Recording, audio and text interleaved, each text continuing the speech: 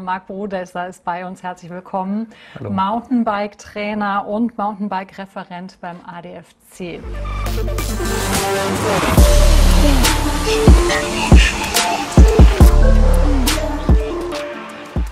Hi liebe Leute, ich bin's mal wieder Marc und heute ein wichtiges Thema, ähm, was ich mit einem Fernsehbeitrag, wo ich interviewt wurde, äh, nochmal reinbringen will. Und zwar geht es wieder um das Thema Trailverbote.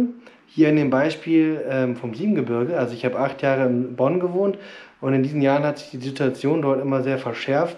Und ich glaube, so ab 2013 oder so ähm, wurde so ein Wegeplan eingeführt, wo ganz viele Single Trails oder auch Wanderwege gesperrt wurden. Und ähm, auch mit Markierungen. Und dann, dort laufen sogar ab und zu, ich denke mal zu Zeiten, wo halt viele unterwegs sind, ähm, Ranger rum, die das kontrollieren mit Geldstrafe. Also sehr traurige Geschichte. Ihr wisst ja, sonst gibt es in Deutschland zum Beispiel ähm, in Baden-Württemberg die 2-Meter-Regel, äh, die natürlich auch ja, ein bisschen seltsam ist, aber schwieriger zu kontrollieren. Und im Siebengebirge, äh, ja, aufgrund von Lobbyarbeit von Biker-Feinden, äh, haben die das durchgesetzt, dass es so Biker-unfreundlich geworden ist und dass ich auch niemandem empfehlen würde, da zu fahren. Und es ist sehr schwer zu sehen, gerade fährst du noch auf dem Weg, der vielleicht äh, noch erlaubt ist und dann ist in irgendeinem Baum ein kleines Zeichen, äh, äh, dass quasi da ein Weg verboten ist. Die stellen ja nicht überall die dicksten Schilder auf und du fährst weiter und ähm, auf einmal bist du illegal unterwegs. Ja, deswegen meine Frage an euch. Ähm, habt ihr lokale Trailverbote? Wie sieht es aus und vor allen Dingen, welche Lösungen würdet ihr sehen? Kann man irgendwie, ähm, ja, sollte man Wanderer und Biker mehr trennen? Sollte man auf ein gemeinsames, äh, rücksichtsvolles Miteinander setzen oder haltet ihr das für unrealistisch? Aber wir wollen ja auch nicht bergab fahren und immer Angst haben, gleich kommt die nächste Kurve ein Wanderer hoch. Ähm, sollte man dann einfach nur langsamer fahren, immer bergab? Sollte man das mehr trennen? Wie ist eure Meinung? Schreibt mir in die Kommentare, ich bin ganz gespannt. Und jetzt hier Film ab, der ähm, WDR-Beitrag, ähm, wo ich interviewt wurde zur Lage im Siebengebirge und auch der Vergleich zum Sauerland wo ja weniger Probleme sind, obwohl natürlich auch in den touristischen Hotspots viele Leute unterwegs sind, Wanderer und Biker. Trotzdem hat man die Sache ganz gut gelöst, wie ich finde. Also, ich bin gespannt auf eure Beispiele, auf eure Meinung. Bis dann, ciao. Ja, erstmal keine Lösung in Sicht, aber vielleicht sieht mein Gast eine. Marc Brodesser ist bei uns. Herzlich willkommen. Mountainbike-Trainer und Mountainbike-Referent beim ADFC. Jetzt mal Hand aufs Herz. Wie groß ist denn die Versuchung, so eine illegale Strecke zu fahren? Also ich würde sagen, es ist natürlich in dem Fall sehr schwer zu erkennen, welche Strecke überhaupt illegal ist.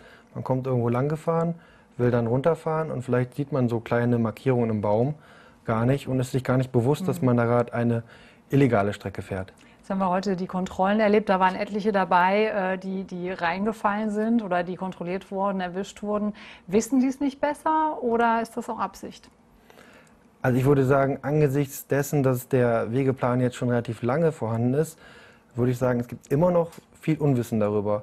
Weil welche Markierungen wo sind, welche Strecken gesperrt sind, das ist nicht sehr transparent. Also wahrscheinlich ist es eine Mischung, die da vor Ort wohnen, die sich damals auch eingesetzt haben, dass dann alle an einen Tisch kommen, die werden es wissen, aber viele, die einfach gerade ihre GPS-Route oder ihre Tour langfahren, wissen es oft wahrscheinlich nicht. Wir haben es eben angesprochen, eine Lösung ist im Moment äh, nicht in Sicht. Wie könnte eine aussehen? Was müsste passieren aus Ihrer Sicht?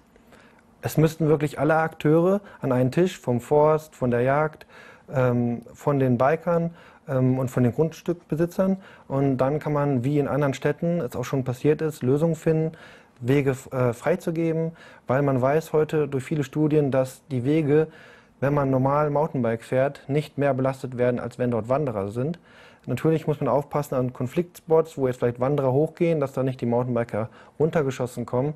Aber dieses Feindbild, dass die Mountainbiker überall durchs Laub fräsen, das muss man zu den Akt legen und wissen wirklich, jeder von uns könnte hier Mountainbiker sein und möchte diese Erholungssportart weitermachen, auch im Siebengebirge alle Akteure an einen Tisch, sagen Sie. Sie leben jetzt im Sauerland, waren acht Jahre hier in Bonn, kennen hier jede Wurzel, haben Sie mir eben gesagt. Was macht denn das Sauerland besser? Also von den Höhenmetern und den Bergen ist es nicht groß anders. Das Siebengebirge hat eine super Topografie, schöne Wälder, schöne Wege. Aber natürlich ist ein touristisches Interesse, dass die Mountainbiker dorthin kommen, Räder leihen, dort übernachten. Deswegen wurde es dann auch da so gemacht, dass sie alle an einen Tisch bekommen haben, weil natürlich da Geld mit im Spiel war. Das heißt, hier leben die Leute und wollen auch ihre Lebensqualität und sich frei entfalten.